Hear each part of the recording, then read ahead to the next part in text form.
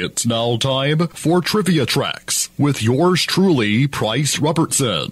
This edition of Trivia Tracks is brought to you by Ouachita Valley Respiratory Care, where you can breathe a little easier, and Beth Smith at Edward Jones. Edward Jones, making sense of investing, member SIPC.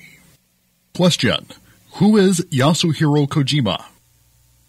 Those of you who love wrestling will remember him as Hiro Matsuda.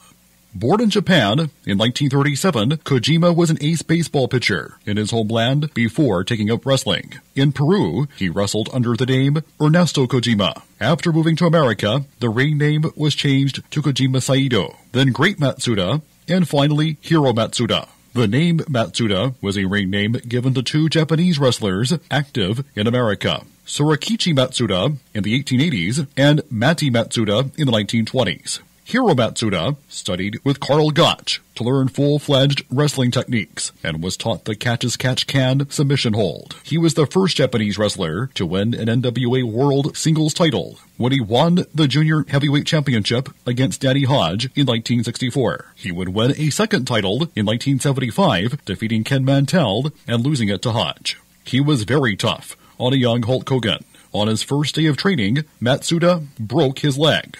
After Hogan healed, he came right back to Matsuda's school, looking to continue his training. Matsuda was so impressed by his display of guts that he trained him properly from that day on. Matsuda trained other wrestlers as well, including the Great Muta, Paul Orndorff, Scott Hall, Lex Luger, Cowboy Bob Orton, and Ron Simmons. He joined JCP in 1987 as a heel in a feud between Lex Luger and Dusty Rhodes, wrestled in a few matches with the Four Horsemen's manager, J.J. Dillon, and later worked briefly for WCW, acting as the manager for the Yamasaki Corporation, a renamed Four Horsemen, and later Terry Funk stapled the J-Tex Corporation. His last match was against Osamu Kido on December 26, 1990, in his native Japan.